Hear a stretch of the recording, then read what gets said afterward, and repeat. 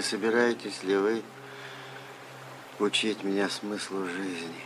Hey guys, today we will talk about the meaning of a word that's incredibly popular among Chernobyl fans. Not the Chernobyl miniseries by HBO, but everybody that is interested in its history or encountered some pop culture around it, like games or movies. I mean, of course, Stalker. I have dug deep because I was curious about how exactly this word became a synonym for people visiting the zone. And what I have found is incredibly interesting. Once again, history made a circle around a particular subject. In the previous video I showed you some insights about Chernobyl history and I have also included some linguistic trivia about the name of the place. So where did Chernobyl come from? The link is shown now in the upper right corner, so save it for later and watch it after this one. To sum it up quickly, the word Chernobyl comes probably from Proto-Slavic languages. There are hints that this is a good suspicion because in many current Slavic languages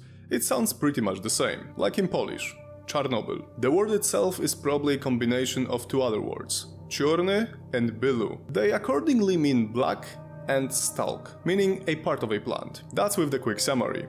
So now you know the basics and it's time to head towards the harder part. We will lean over stalker in a similar way. But I think it's more interesting because of the many coincidences and links between different meanings, especially regarding the different times it was used. But to be more enigmatic, I will reverse the timeline. I will start with the most recent uses and then proceed deeper into its history. So the first, probably the most well-known example for players, is the Stalker game series. I've played all of them more than once, and I have a huge sentiment towards it, especially the Polish version had unique audio, thanks to the very characteristic voice of a lector, Mirosław Utta.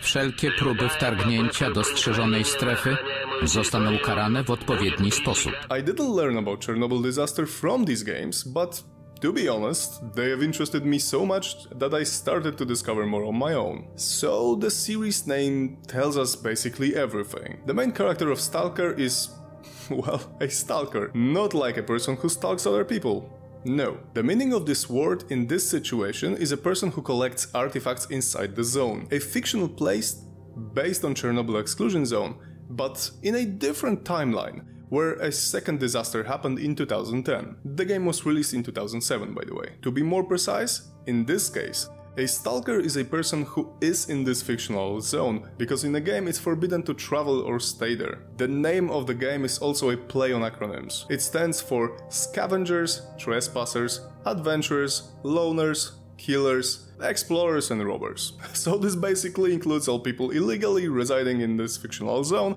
as the government and army forces perceive everyone there as outlaws. We, as the developers of Chernobylite, are not far from the origins of this stalker meaning as well as we adopted it too. One of the main characters in our game is called Black Stalker, and you can hear this word at least a few times during gameplay, for example when different NPCs speak to you or each other. Stalker in that form is a word that describes a person that lives in, travels through, or visits the Chernobyl exclusion zone. Also, the guides can be called that, and the term basically stuck with them. Sounds interesting? We're just starting, guys. However, in the gaming community, it's fairly common to believe that the GSC World, the developers of mentioned game, coined the term, and this is not true. Let's travel back in time to 1979, when Andrei Tarkovsky movie was released.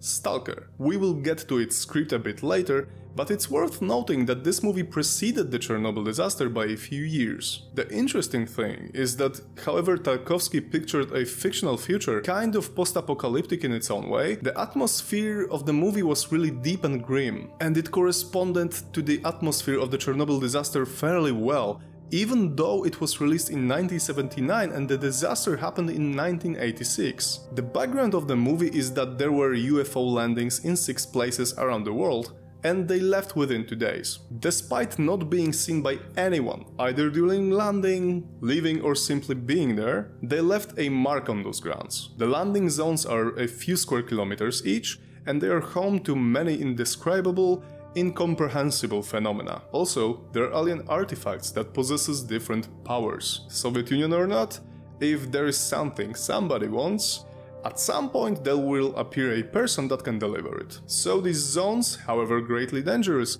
are now home to people who are called by others and call themselves too. Stalkers. These stalkers travel to zones to look for, scavenge or buy artifacts to later smuggle them through zone's border in order to sell them for a really good price. If you played Stalker, it should sound very similar, right? That's because it basically explores the same idea, but the background is the Chernobyl disaster, not the aliens landing on Earth. However, the games are mostly focused on entertaining the players. The movie has a deep psychological, philosophical, and even theological meaning too. I always thought that Tarkovsky wanted the viewers to wonder. Nothing in particular about, just to ask themselves some questions. But let's travel back in time again. It's 1972 and an important book was just published. Roadside Picnic is believed to be one of the most influential books ever written. At least I think so, especially since I really like science fiction and post-apocalypse in general. The authors, brothers Arkady and Boris Strugatsky, created a world where Earth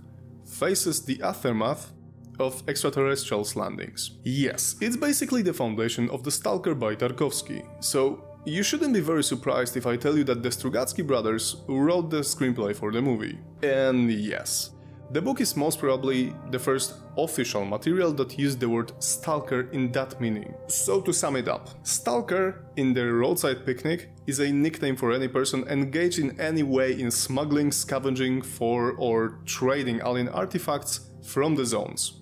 But the Stalker is not the only one that interprets Strugatsky's book. As I watch almost everything that created that kind of atmosphere, I honestly found a movie from 2018 called Annihilation interesting. You might recognize it because Natalie Portman starred there. However, it was based on the novel that goes by the same name. I found a lot of similarities between the movie, Tarkovsky's movie, and Strugatsky's book. Sorry, enough digressions for now. The term stalker, thanks to an iconic book and movie, became a part of the Russian language. Later, thanks to other publications like movies, TV series, games, it was distributed to other countries as well, even though Strugatsky's book was translated into dozens of languages over the years. The authors themselves said once that this word, became the most popular of their neologisms. Having in mind that the younger brother Boris lived until 2012, probably he wasn't surprised that the word they have coined started to be used as a descriptive term for people visiting different abandoned sites and ghost towns,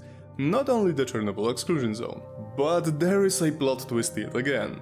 However, authors of the Roadside Picnic basically created the Stalker word in this meaning, they did have a little help from their own favorite book from their childhood. They didn't hide that they made their Stalker as an allusion to Rudyard Kipling's book called Stalky and CO, published in 1899, which they read as children as it was translated into Russian. Leaving the plot of the book aside, the main character, Arthur Lionel Corcoran, is called Stalky. To understand the meaning of it, we have to read what he and other characters talk about. No, I ain't.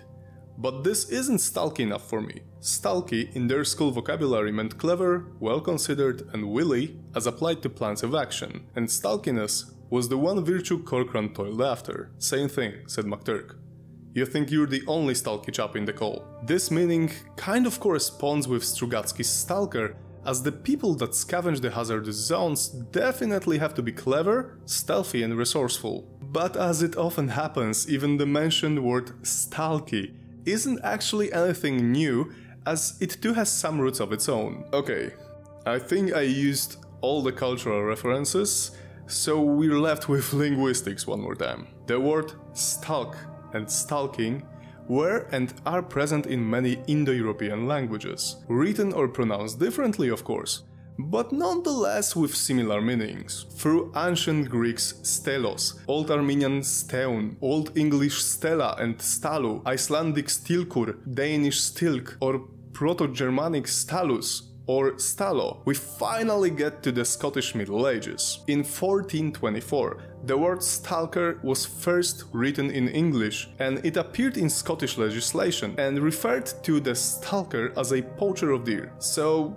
the outlaw narrative comes back again. Clearly, a person hunting deers illegally had to be quite stealthy and witty, but also an agile one. And that's why one of the meanings of stalker is a person who walks with big steps. For many decades, if not centuries, a stalker was in some way referring to a person pursuing animals. The newer meaning appeared in the last century, probably around 50 or 60 years ago. And this, of course, is the less nice one. Stalker, in current meaning, is a term often used in law, when someone called a stalker is a person who violates laws or even commits a crime. Well, that was a fun trip for me guys. I hope you had a good time too. I honestly didn't anticipate that so simple subject as the etymology of a word will have such deep roots. Let me know in the comments if you liked this video. I really enjoyed creating it and I hope that you learned something new, or at least something interesting. Stay safe, take care, and see you next week guys.